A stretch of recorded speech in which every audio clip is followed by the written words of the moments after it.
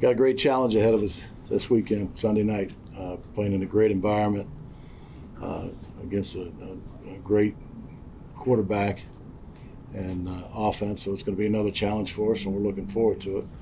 And with that, I'll open it up to questions.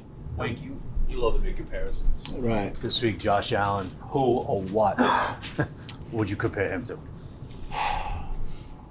All right. You ready? Yeah, yeah.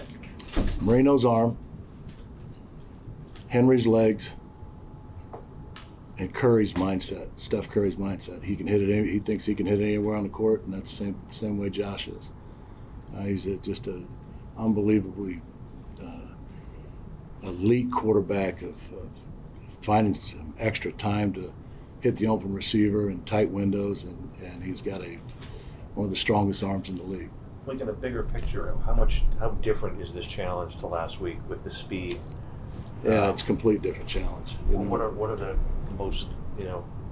Um, the actual speed of it, there's, you know, there's still a fast offense. You know, obviously with Diggs and the receiver corps, um, it's not as many uh, motions and you know how they have Miami and, and both Miami and San Francisco has that core, you know, all that coordinated very well that makes it tough on guys' eyes, and it, you won't see as much much of that because, you know, it's a it's more of a blueprint NFL offense where Josh runs everything at the line of scrimmage and calls his plays and, and uh, gets them in the right play. And when you have a bunch of guys moving, that's hard to do.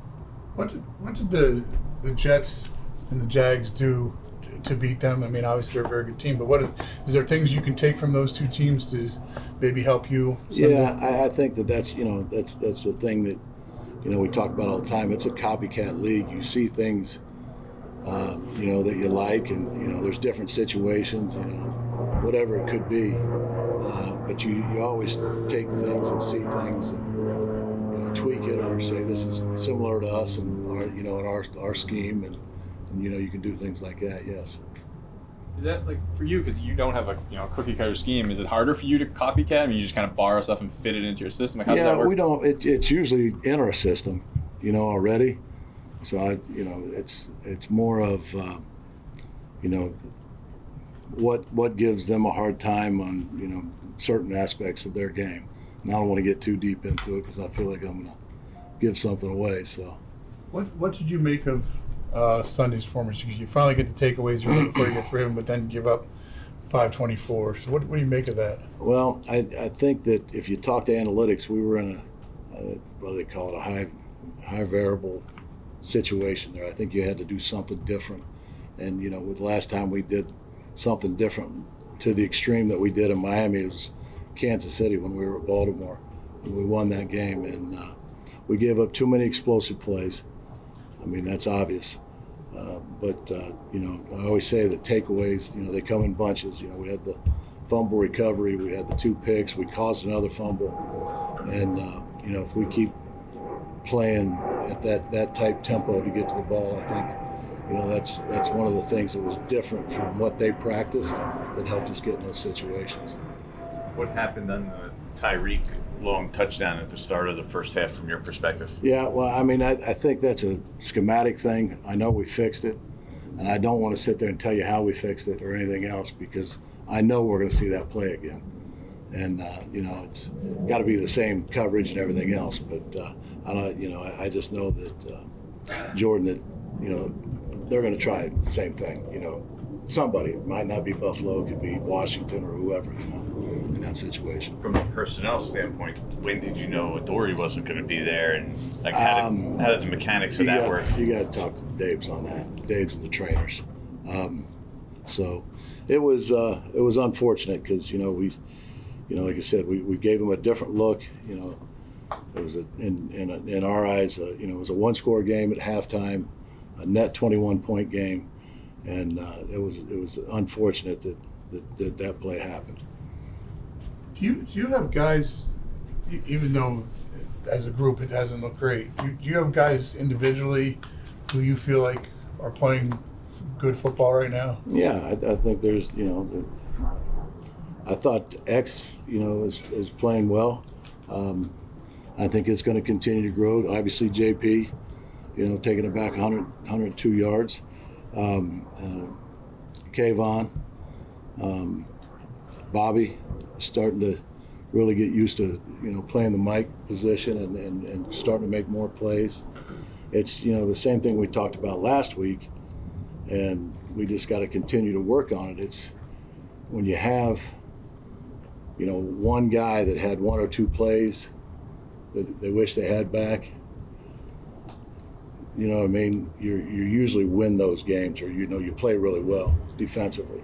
But if you have six guys, and they could be any you know any of the guys I mentioned or anybody else that have one or two plays they wish they had back, that's where you start you know giving up too many plays. How about the two guys in the middle, the two vets? What's that? Dex, Dex and Leo. Yeah, I, I, I mean like that game right there. It was we defended every blade of grass, and they were going to make sure that they were not involved in it. So I mean, if you think back at it, or just you know with your memory, everything was zoop, zoop, zoop, or zoop. So it wasn't anything around the center. Wink, you guys played three more. You guys played in London last year and then had to play the next week. Buffalo's doing that now. Um, is it a point where that travel doesn't really have an impact on a team anymore the way it maybe used to? I hope it has a huge impact. Last year I didn't, but I hope this year it has a huge impact. Um, uh, that was, uh, you know, that, that that's that's a tough that's a tough trip. So I, I don't know how they've handled it, you know, with their schedule and everything else. What are you seeing from Bobby? You mentioned him just getting more comfortable with the Mike position, but week by week, how has he grown more accustomed? Uh, I just think that he is seeing things better as, as, as the middle linebacker.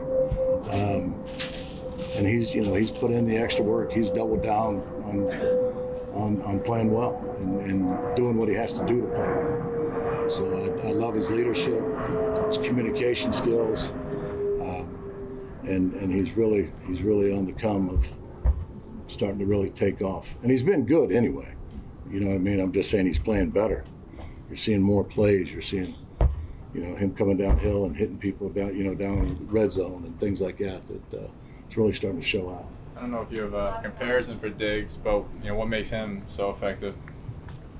He's like those guys that sell a lot of jerseys. I mean, you know, you can talk about you can talk about all of them, as far as uh, the guys who want the ball and and uh, game-winning situations, and he's one of those guys, and uh, makes a lot of plays.